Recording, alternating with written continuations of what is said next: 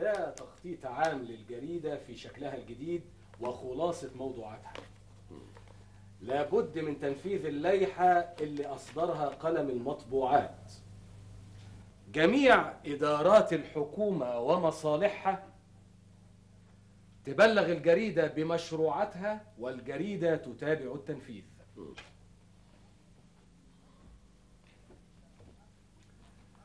وللجريدة الحق في نقد أحكام المحاكم.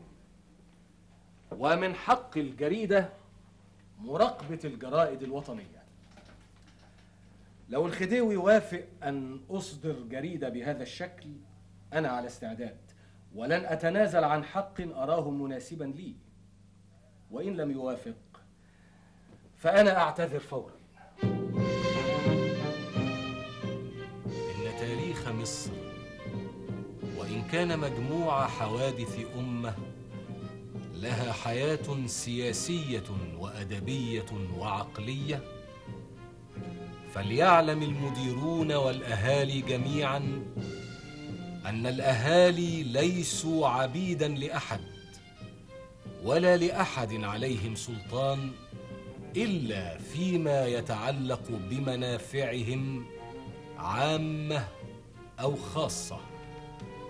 ولكن أن أرى للحربية وزيرا يدعى عثمان رفقي شركسيا وللأسف يضطهد الضباط المصريين فإن هذا أول ما نقف في وجهه من حيث اتفقنا في بداية المقال أن الأهالي ليسوا عبيدا لأحد. فما بالك بذوي الرأي وهم الضباط أن يحاول شركسيا أن يصنع منهم عبيدا له. محمد عبده غريب جدا إن الإمام محمد عبده يكتب الكلام ده لمجلة الدولة المسؤولة الوقائع الرسمية. وماذا كنت تنتظر من محمد عبده يا عراب؟ يا جماعة أنا رأيي إن الموضوع ده مش هيمر بسلام أبدا.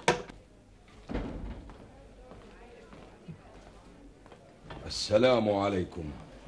السلام ورحمة الله وبركاته. وبركاته. لسه كنا في سيرة مجلته. الإمام كاتب مقال عظيم. كأنه بالظبط لسان حال الضباط المصريين.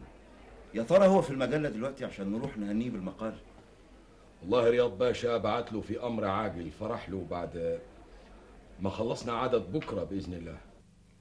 أنت عارف عثمان رفقي يعني إيه بالنسبة للخديوي؟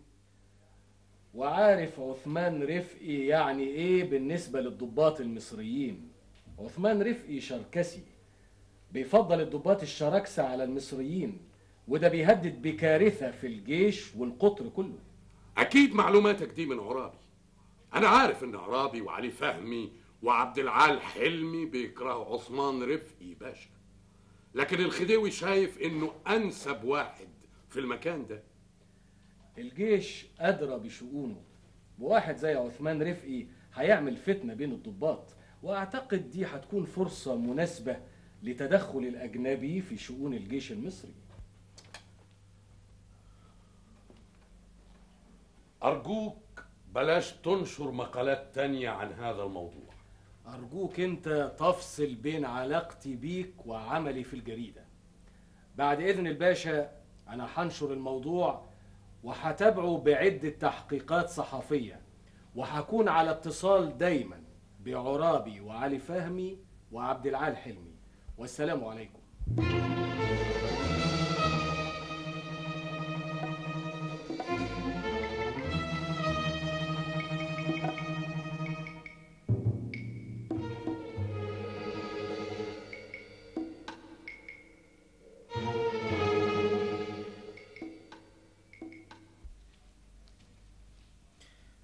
شيء عظيم إنك تكتب باسم الضباط المصريين تهاجم عثمان رفقي ناظر الجهادية. لكن الأعظم إنك تكمل المشوار. عشان كده أنا طلبتك أعرف وجهة نظرك في مطالبك كل كلمة كتبتها صح. وبصراحة مفيش حل إلا بثورة يقوم بيها الضباط المصريين ضد الضباط الشراكسة وضد الخديوي كمان. هل تعتقد إن الثورة ممكن تنجح في ظروف زي الظروف اللي بتمر بيها البلاد؟ الجيش مليان بضحايا ناظر الجهادية وأنا واحد منهم.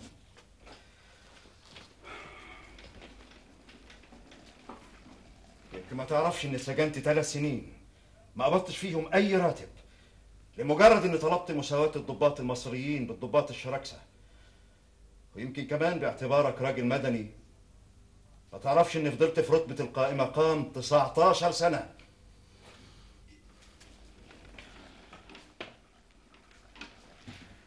وده ما بيحصلش ابدا إلا للضباط المصريين أو للي بيطالب بحقه. أنا ما عرفتش المعلومات دي قبل كده. أنا عارف صداقتك برياض باشا وإن كنت بختلف معاك فيها لكن ده حقك. قبل كده رفعنا لشريف باشا مذكرة بعزل عثمان رفقي. فما كان من الخديوي إلا إنه عزل شريف باشا نفسه وعين رياض باشا. وفضل حال الجيش على ما هو عليه. وقرر ناظر الجهادية عدم تلقي الضباط المتعلمين بالمدارس الحربية. دي عينة من اللي إحنا شايفينه في الجيش. مادام بتسألني عن سبب انفعالاتي وثورتي. أرجو أن نصل بالحلول السلمية عن طريق الصحافة للي عايز تصل إليه عن طريق الثورة. دي وجهة نظر. أنا رجل عسكري وشايف إن السلاح هو اللغة اللي بتعبر عن حال الضباط المصريين. وأنا شايف إن التفاهم والعقل في تفهم الأمور مع محاولة انتشار الثقافة والعلم هو الطريق الأعظم لتحقيق آرائكم. هنشوف أي طريق أسرع. أستأذن.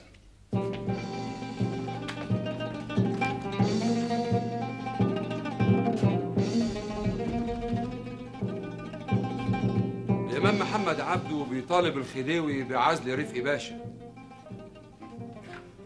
يرد الخديوي بعزل أحمد عبد الغفار. قائم مقام سواري الفرسان المصري. وتعيين محمد شاكر الشركسي في منصبه ده تحدي سافر. أيوة وملوش غير معنى واحد إن إحنا نخبط دماغنا في الحيط وأكبر ما في خيلنا نركبه واللي يقدر يعمل حاجة يعملها.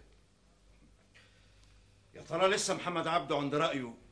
بأننا بالتروي ممكن نوصل للي إحنا عايزينه. ولا أصبح مستفز أكتر مننا؟ أيوة بس ما تنساش إن محمد عبده صديق شخصي لرياض باشا. بس أعتقد إنه بيفرق بين الصداقة والواجب. رياض باشا؟ رياض باشا اللي مزاجه الشخصي وانفعالاته بتتحكم في كل قراراته وأحكامه؟ مش رياض باشا هو اللي وافق ان عثمان رفقي يبقى ناظر الجهادية من أيام وزارة شريف؟ على العموم لثقتي في محمد عبده لازم أشوف هيعمل إيه بحلوله السلمية.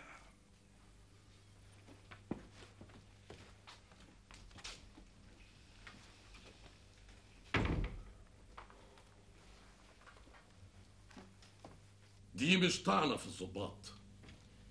دي طعنة في ظهري أنا. معناها إن ناظر الجهادية يصدر أوامر تستفزني ويوافق عليها الخديوي. ما لم يعلمه ناظر النظار أن البارون درينج القنصل الفرنسي بيشجع الضباط المصريين على ما يقومون به من أعمال وأعتقد أن سعادتك تعرف عاقبة هذا. وتبقى فرصة للتدخل الأجنبي في البلاد. ويتفكك الجيش حامل حمى ويزداد نفوذهم. نفوذهم لحماية ديونهم اللي مصر مدانة بيها من عهد إسماعيل. وأعتقد أن مطلب الأجنبي أكيد هو الاحتلال. الاحتلال؟ أرجوك. ممكن تعمل كتير. عرابي وعلي فهمي وعبد العال حلمي كتبوا مذكرة أو شكوى في هذا الموضوع واعتقادي الشخصي أن عدم إجابة مطالبهم معناه كارثة محققة هتحصل في البلاد. أنا هرفع الشكوى دي بأسرع ما يمكن.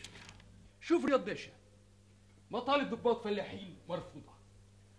وأنا أمرت عثمان باشا رفقي يزود امتيازات الشركساء واللي مش عاجبه رياض باشا يخرج من الجيش. ولا أقول لك اللي مش عاجبه يشرب من البحر. قلت عليك بالهدوء والسكينة والتروي. وجه رد الخديوي. يا ريت بقى أعرف رد الإمام. بعد رد الخديوي. رأيي أن المطالبة بالحرية والمساواة والعدل إنما تكون من الطبقات الوسطى والدنيا إذا انتشر بين أفرادها التعليم الصحيح والتربية النافعة. نفهم من كده إن فضيلة الإمام بيطلب مننا نأجل ثورتنا لحد ما يعم العلم البلاد. وإيه دخل الجيش يا فضيلة الإمام في انتشار العلم؟ أعتقد إن دي مهمتنا. مهمة رجال العلم والأزهر الشريف وعندما ينتشر العلم تصبح الثورة هي المعبر عن الشعب لأن الجيش هو أصلا لحماية الشعب وليس لحماية نفسه. أفلاطون قال في جمهوريته إن الجيش يصور والفلاسفة يحكموا وإحنا مش طمعانين في الحكم. وعليكم أنتم إنكم تتولوا الأمور بعد الثورة. إنني أرى مفيش غير رأي واحد الثورة. لسبب بسيط إن مفيش حل تاني قدامنا. أنا مش شايف أي خلاف بين رأي عرابي ورأي الإمام. ليس خلافا في المضمون ولكنه خلاف في الظاهر فقط في الشكل. وإن شئت الدقة فهو في التوقيت. الإمام عايزنا نهتم بالتربية والتعليم وده شيء عظيم وفعلا بدأت فيه خطوات عظيمة. أيوة فعلا. وبفضل الإمام أصبحت الحكومة بتشرف على المدارس الأجنبية. وما دمنا بدأنا البدايات. فلماذا لا نستمر حتى تصبح الثورة على قاعدة أصلب؟ بالثقافة والعلم نجبر الحكومة على التغيير. لا يضع الدستور ولا يفهمه إلا المتعلمون. وأعتقد أن هذا غرض الثورة. يعني نفضل مستسلمين لغاية ما يتم الإصلاح في التربية والتعليم. أنا أرفض أصلا كلمة استسلام ولكن ليس من المصلحة أن نفاجئ البلاد بأمر لم تستعد له. كأننا بنسلم شعب مسؤولية قبل بلوغ سن الرشد. رأيي إن إحنا بلغنا سن الرشد والدليل على كده مجلسنا اللي بنناقش فيه متطلبات شعب. وأنا أعتقد أن تحقيق ذلك بالقوة العسكرية غير مشروع بالعكس قد يجلب على البلاد مشاكل يصعب حلها. مشاكل إيه دي؟ التدخل الأجنبي. بحجة أن يحمي رعاياه الأجانب. الاستعمار يعني. ساعتها نبقى تخلصنا من مشاكل يسهل حلها وبنناقشها في مجلسنا إلى مشاكل تجلب علينا اللعنة إلى يوم القيامة. أطمن. حبز الجهد إن ما يكونش عرابي. مصدر اللعنة.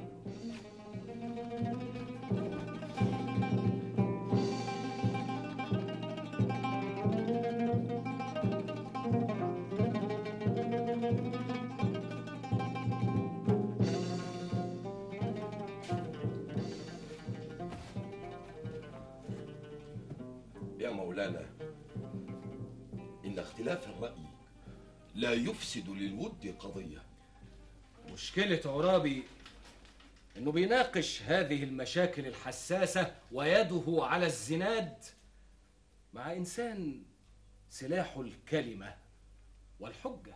مدام في ضباط فلاحين ليهم مطالب وبيطالبوا بيها كمان قول على الأرض السلام. الموضوع أكبر من عرابي ورجالته. رئيس الوزراء نفسه رياض باشا يشكل خطر كبير على حكم الشراكسة.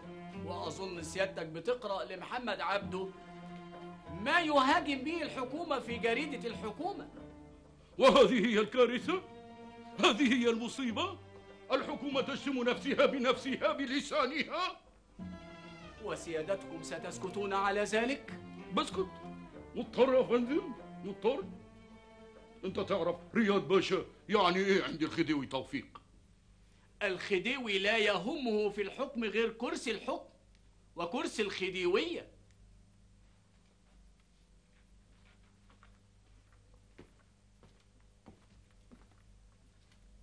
قصدكم إيه يا فوزي؟ الخديوي لابد أن يعرف ما يدور وراء ظهره بتحريض من رياض باشا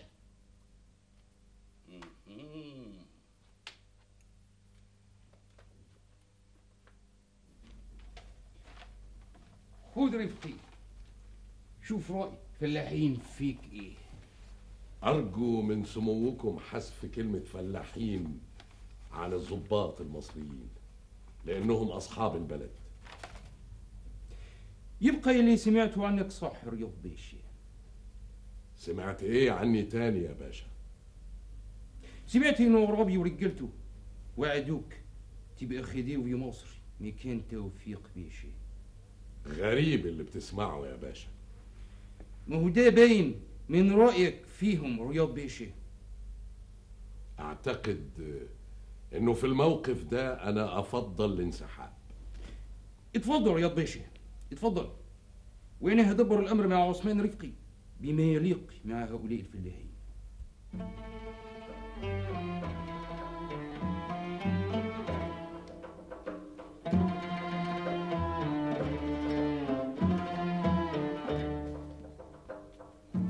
تمرد يا باشا. تمرد تمرد على سموكم والجيش كله. وأظن لا مجال للمهادنه مع هؤلاء الفلاحين رفقي أصدر أمر باعتقالهم وحبسهم رفقي. هذا الأمر لابد أن يؤخذ بتروية يا باشا. يعني إيه؟ يعني لابد أن نقبض عليهم من غير ما حد يحس. هم دلوقتي قلة لكن بيمثلوا كل الضباط الفلاحين يبقى نقبض عليهم يبقى من الدار للنار من غير حس ولا خبر. إزاي ده يا رفقي؟ إزاي دي؟ سيادتك سيبها لي أنا وفكروا فيها مع الضباط والرجال المخلصين الشراكيسات فكر رفقي فكر. فكر على أقل من مهلك. عايزك رفقي تسوي طبقة على نار هاديه مش عايز ابدا واحد فلاح. يتجرأ يوم ويعمل زي الفلاحين دول. معنا طبعا باشا طبعا. أمال إحنا بنعمل إيه يا باشا؟ أنا مش فاهم أنت عايز مني إيه. عرابي بيتهمني بمهادنة الخديوي والموافقة على كل قراراته. والخديوي بيتهمني إني بحرض على الثورة عشان أطيح بيه وآخد أنا مكانه. وأنت نفسك بتقنع عرابي إن هو ياخد كل طلباته من غير ثورة. أنا عايز أعرف أنت مع مين وضد مين؟ مع الثورة؟ ولا ضدها. أنا مع ثورة لابد أن تنجح دون أي احتمالات للفشل. فشل الثورة هيكون كارثة على البلاد. وزي ما قلت لك إن البارون درينج مندوب فرنسا في مصر تعدى حدود الموافقة على الثورة إلى تأييدها المطلق. يظهر إن الأحداث بقت بتجري بسرعة أكثر من كل توقعاتنا. السرعة دي خلت كل واحد يخبط في التاني. لدرجة يصعب معاها معرفة مين مع مين ومين ضد مين. هي دي مشكلة عرابي مع نفسه. بيرفع لواء الثورة لمجرد الثورة والمؤسف إنه لم يحدد بالضبط معالم الثورة واتجاهاتها. أنا شايف وحاسس بالفتور اللي حصل بينك وبين محمد عبده ولولا ثقتي في إخلاصك للوطن وإخلاص محمد عبده. ما كنتش بعت لك عشان أتكلم معاك في الموضوع ده. أنا عمري ما شكيت في إخلاص محمد عبده يا سلطان باشا. بالعكس الأفغاني ومحمد عبده أصحاب فضل في اهتمامي بقضايا وطني وإحساس إن لازم يكون عندنا جيش مصري حر. ما يسمحش للأجانب بالتدخل أو السيطرة. طيب يبقى مفيش مشكلة. المشكلة إن محمد عبده شايف إن إحنا لازم نتمهل في قيام الثورة. وأنا ضد كده على خط مستقيم. أنا شايف إن كل ما انتظرنا كل ما توغل الشراكسة والأجانب في شؤون الجيش وإذا الجيش ما قامش بثورة حالا تبقى البلد مهددة بكارثة يا سلطان باشا. بس ده لا يمنع التفاهم معاه. وخسارة اتنين من أخلص الوطنيين في البلد يكونوا على خلاف في الرأي. أرجوك يا سلطان باشا أنا لازم أمشي حالا. أنا ما عنديش استعداد أقابل الشيخ محمد عبده. أرجوك أنت يا عرابي. أنا شايف ضرورة اللقاء ده بينك وبينه. الأفضل ما يعرفش إن إحنا كنا هنا ومشينا يا باشا. فعلا. أنا شايف إنه من الأفضل إن إحنا ما نقابلوش. محمد عبده مقنع. وأنا مش هسمح لحد ابدا إنه يهبط عزيمتي. ويأخرنا عن اللي إحنا عايزين نقوم بيه. حتى لو كنا محتاجين لألمه. لولا إني متأكد إن ألمه مش هيكون ضدنا ابدا بأي حال من الأحوال كنت واجهته بحزم. دام مصرين ما تقابلهوش. في مدخل تاني للقصر بدالي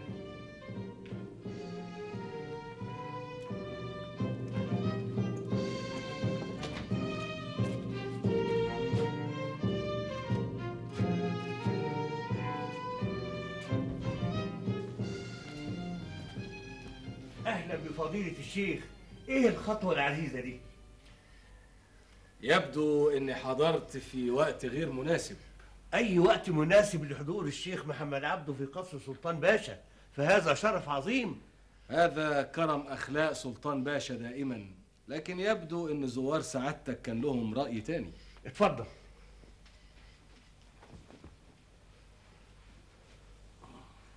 عرابي يخشى أن تزداد الفجوة بينكما في أي مواجهة.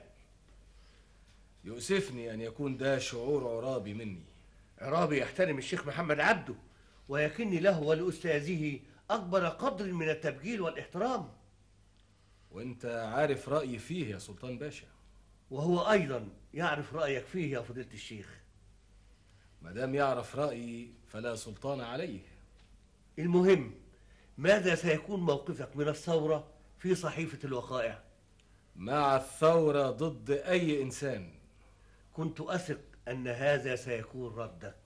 تذاكر دعوة لحضور حفل زفاف سمو الأميرة جميلة شقيقة خديوي مصر والمين العرابي وعبد العال حلمي وعلي فهمي. شيء غريب. هو شرف عظيم إن إحنا ننال عطف سمو الخديوي لكن الشيء الغريب إن الدعاوي دي جاية لنا إحنا وبس. أكيد الحكاية دي وراها حاجة من اتنين.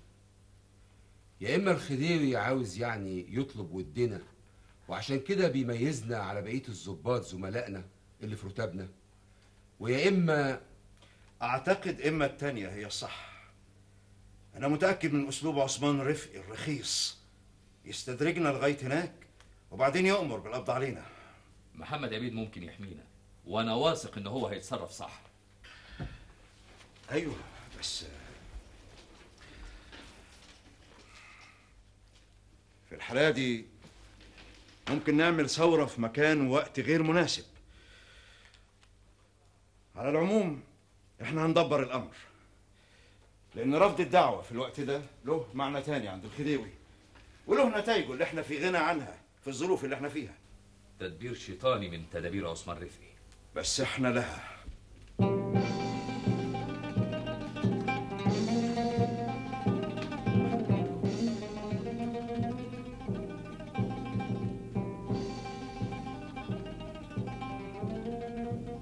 مالك يا مولانا؟ إحنا ما تعودناش نشوفك في حالة بالشكل ده. عرابي يا سعد. عرابي ماله خلط الحابل بالنابل. وللأسف أصبحنا كلنا في موقف لا نحسد عليه. لا حول ولا قوة إلا بالله. لا حول ولا قوة إلا بالله. عرابي ابتدى يتعامل معايا على إن ضده والحقيقة أنا ضد اندفاعه. عرابي عارف إني عمري ما كنت مؤيد للخديوي توفيق في أي موقف وبقول رأيي حتى في جريدة الدولة الرسمية. ممكن مولانا يسمح لي إني أقول رأيي في الموضوع ده؟ يا ريت يا سعد يا ريت. وراب يا مولانا حاسس إنك بتعجزه عن أداء واجبه بعجزه؟ وراب يعلم إنك ضد الخديوي لكن بتؤيد وعلى خط مستقيم رياض باشا وسياسته. لأني أدرى من أي واحد بمعرفة رياض باشا عيوبه ومميزاته. رياض باشا هو صمام الأمان للتضارب الظاهر في الحكومة. والله أعلم ممكن يجرى إيه في البلد من غيره. عرابي يعلم إن كل اللي بيجرى ده بموافقة رياض باشا. أنا مش متفق مع رياض باشا في الموضوع ده لكن هو له رأيه. المهم إني عرفت بمكيدة ومؤامرة ضد عرابي لازم أحذره منها. أنا معلوماتي إن عرابي موجود دلوقتي في بيت طلبة باشا قائد الجيش في اسكندرية.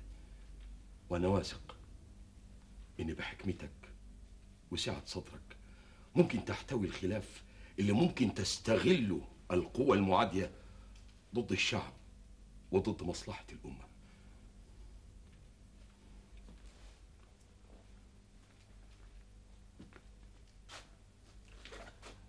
أنا على استعداد إن أنا أروح له تاني يا سعد. يا ريت يا مولانا. يا ريت. تعال معايا.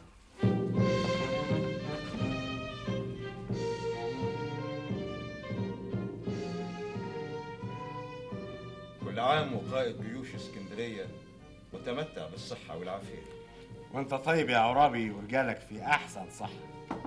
اتفضل السلام عليكم ورحمة الله وبركاته.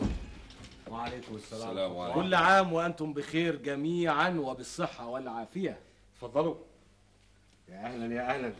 الشيخ محمد عبده بنفسه حلت البركة وعيد سعيد. نستأذن يا باشا. انت لسه ما قعدتش يا عرابي ولسه ما اتكلمناش في اللي إحنا عايزين نتكلم فيه. وقت تاني يا باشا. يبدو ان عرابي اصبح يرفض وجودي ووجوده في مكان واحد كما حدث في قصر سلطان باشا. أنا لا أتصور يا مولانا إن عرابي يقصد هذا المعنى ابدا. أشكرك على حسن استقبالك يا باشا. عرابي أرجو أن تفرق بين موقفك الخاص مني وبين واجب كل منا نحو الآخر. عرابي أرجوك اسمع كلام مولانا كويس. أنا عذرك وعارف موقفك من رياض باشا. لا عذر عن أداء واجب يا عرابي وأنت حر في أي موقف تراه مناسب لك وأنا ما زلت عند رأيي اللي قلته لك. لكن من واجبي أن أحذرك أن تحضر حفل زفاف الأميرة جميلة أخت الخديوي. فهناك مكيدة من عثمان رفقي في انتظارك. كل عام وأنتم بخير. السلام عليكم. وعليك السلام يا عرابي. استنى يا عرابي. حتى ولو كان هناك خلاف في الرأي بينك وبين الإمام محمد عبده فاسمح لي أقول لك إن ده من أعظم أنواع الخلاف لأنه خلاف بين الإخوة بل أكثر. لولا ثقتي في شخص الإمام محمد عبده وثقته فيا أنا ما كنتش رفضت دعوة الخديوي لحضور حفلة زفاف أخته لأني ما عهدتش في الإمام إلا كل الصدق. وأي صدق يا عرابي؟ إن الإمام بهذا يلقي بالقصر خلف ظهره. لأن القصر لا يهمني أصلا يا طلبة باشا. اللي يهمني هو أن ينجو عرابي من تحمل عبء كبير على كاهله. وما أخشاه أن يكون العبء في هذه الظروف أكبر من أن يتحمله عرابي ورجاله بل أكبر من قدراتنا جميعا. عشان ما نختلفش مرة تانية لأن خلافي مع راجل عظيم زيك بيعذبني. فاسمح لي أمشي دلوقتي ومش هنسالك أبدا حرصك علينا. ونصيحتك لينا إن إحنا ما نقعش في الشباك اللي بينصبها لنا عثمان رفقي السلام عليكم. وعليكم السلام وعليكم السلام ورحمة الله وبركاته. تفضلوا لا يسعني في هذا الموقف إلا أن أتذكر كلمة السيد الأفغاني عنك. أي أبناء الملوك أنت؟ الإمام محمد عبده قطع الشك باليقين. وحدد موقفنا من دعوة الخديوي. أعتقد مفيش داعي دلوقتي نروح حفلة زفاف الأميرة جميلة أخت الخديوي. حتى لو كان ده هيعتبره الخديوي انتهاك لكرامته. تفتكر الخديوي يرضى إن عثمان رفقي يقبض علينا؟ في ليلة زفاف أخته؟ حتى لو قلت لك إن أنا ممكن أحمي ظهرك وأنت في الحفلة مع بعض رجال الجيش. هو الموقف ده اللي ممكن يثير فيه الخديوي كل عنف ضدنا. وهيصيروا أكتر اننا ما نروحش الحفلة ونرفض دعوته. أرجوك يا علي. ما تطلبش مننا نقف موقف بطولة في وقت مش محتاج أصلا لاستعراض البطولة.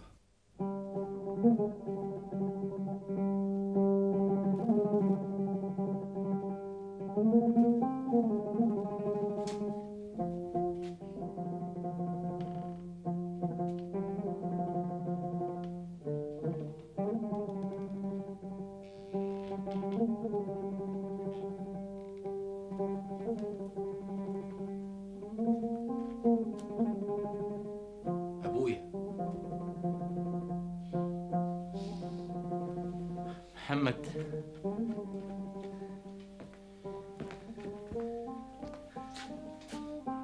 إزيك يا محمد؟ وحشنا يا حبيبي. اقعد يا نعمل إيه بس؟ مادام حرمتنا منك حتى في أيام العيد قلنا نيجي نشوفك. أنت بتتأخر كتير كده يا محمد. والدتك ملت الانتظار دخلت نامت جنب مراتك. الظاهر اتعودت على تأخيرك هي وبنتك.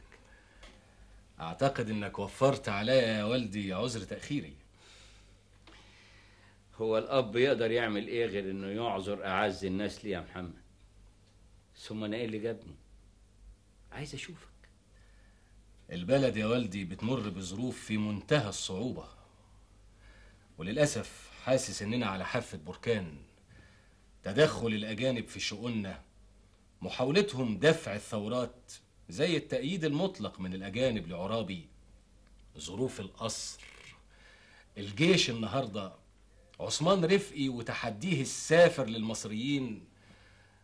ورياض باشا اللي بيحاول يملك زمام الأمور.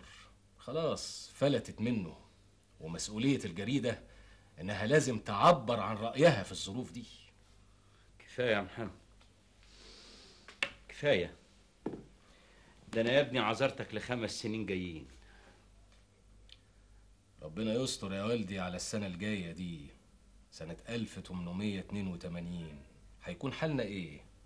المهم استدراج عرابي ومحمد عبيد وعلي فهمي. وعبد العال حلمي على بوفيه خاص بالضباط وهناك يتم القبض عليهم في كتمان شديد. لازم نلقنهم درس عظيم. قصدك لازم يفهموا إن الضباط الشراكيسات هم الاقدر بحماية البلاد والخديوي من الفلاحين أمثالهم.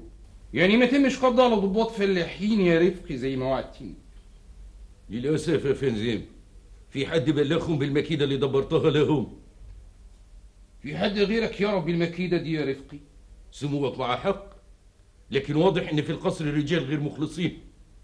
في قصري أنا رجال غير مخلصين. إيه رأيك في الكلام ده رياض باشا؟ الله وحده يعلم ما تخفيه النفوس يا باشا. ونعم بالله رياض باشا. ونعم بالله. ولكن مش من حق خديوي برضه يعرف إيه بيدور في القصر. من حق سموكم طبعا تعرف. صديقك محمد عبده يا رياض باشا أصبح يطعن كثيرا في السر والعلن. محمد عبده رجل لا يعمل في الخفاء ابدا. وأنا لا أحذرك من رجال مثل محمد عبده لكني أحذركم من هؤلاء الذين يظهرون انهم من أقرب الناس إليكم بينما هم يعملون في الخفاء ضدكم. معنى كده يا رفقي ان عرابي بينظر إليك. على إنك أضعف من إنك تقبض عليه؟ ممكن يستدرك الأمر يا فنزيم إزاي رفقي أن أدعو عرابي ورجاله إلى مقر نظر الجهادية بقصر النيل وهذه الدعوة هتطمنهم مش هيتاكد ان يتم القبض عليه قدام رجال الجيش. وبكده يتأكد عرابي إن مفيش أي مؤامرة للقبض عليه. برافو. برافو رفقي. عايز تقول إن اللي هيبلغه هيبقى في موقف مخزي ومحرج. مش كده برضه يا رياض باشا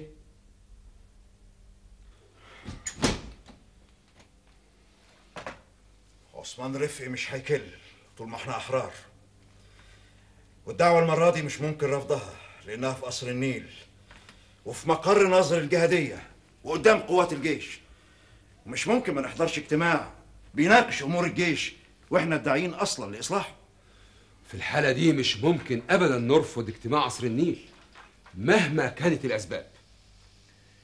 حتى لو كان في مكيدة فلازم نعملهم بالمثل. وبعدين لو صح الكلام ده يبقى أنتوا الاتنين اللي مقصودين بالمكيدة دي مش أنا. وأنا بصفتي كمسؤول في الجيش ممكن أدي الأمر للضباط والجنود إنهم يحمونا. بس في الحالة دي الوضع هيختلف. لأن الاجتماع خاص بالضباط واجتماع عام مش في القصر الملكي. اللي دافعنا عن حرمته بالذات في ليلة زفاف الأميرة.